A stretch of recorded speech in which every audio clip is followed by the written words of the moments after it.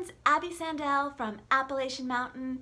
It is Friday, May 11th, and that means that we've got new, most popular baby names data for the United States to talk about.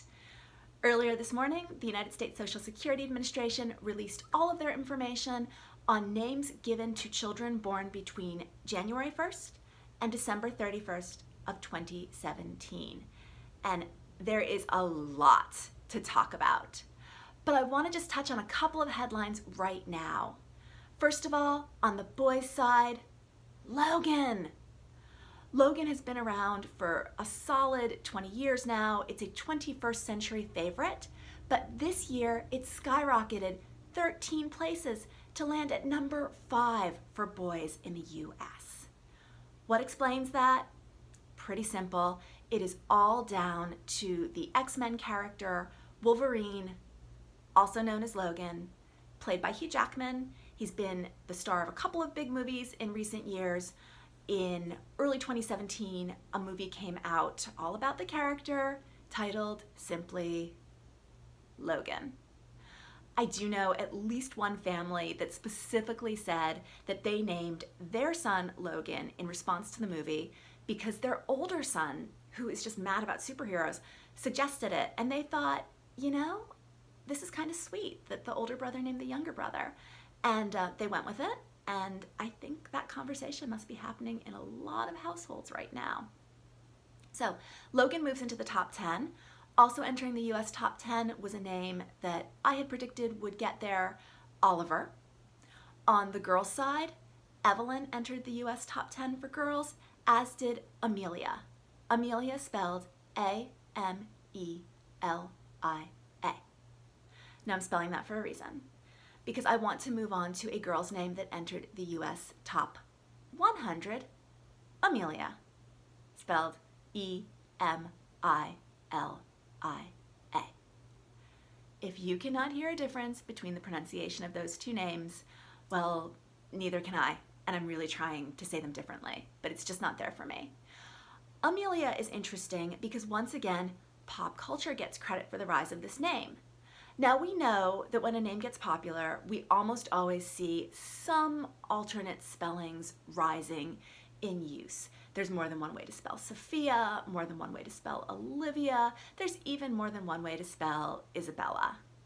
But Emilia, with the E, particularly references the actress Emilia Clarke. She is the star of Game of Thrones. She was in a romantic comedy called Me Before You, based on a Jojo Moyes novel, and she's about to co-star in the new Star Wars movie Solo. So she's having a big career right now. The title of her character on Game of Thrones, Khaleesi, which is roughly the equivalent of Queen, actually ranks number 630 in the US for girls' names. So it's not surprising to see Emilia with an E, E-M-I-L-I-A, the actress's name, also rising for girls in the US. Another name that's new to the Girls Top 100 that I wanted to call out is Everly. It's another one I was watching, and it's so interesting because if Evelyn, the new Top 10 girl's name, feels vintage and old-fashioned and gentle, Everly shares a lot of the same sounds, but feels very modern and much bolder. But again, they're close. You can imagine parents trying to decide between the two of them. So that's kind of interesting. Now, on the boys' side, Maverick. I had called Maverick as a long shot to enter the US Top 100. I thought he would get there maybe next year, but in fact, he is there now. Want to mention again, possible pop culture influence. There's been a lot of talk about a Top Gun sequel.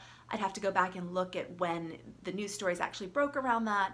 But of course, Maverick is the call sign of Tom Cruise's character in that movie. It has been on the edges um, of baby names for some time and rising quickly. I used to say it was too crazy, too out there when I first started writing about baby names a decade ago. But um, I've changed my opinion. By the time, time a name makes the top 100, it is mainstream, and it's just not going to be strange to meet a baby named Maverick in the coming years. So that's the top 100. Uh, want to jump ahead to names that re entered or debuted in the US Top 1000 this year. For the boys, Caspian, Decker, Kaiser, again, Kaiser, big pop culture influence, that's a teen mom name.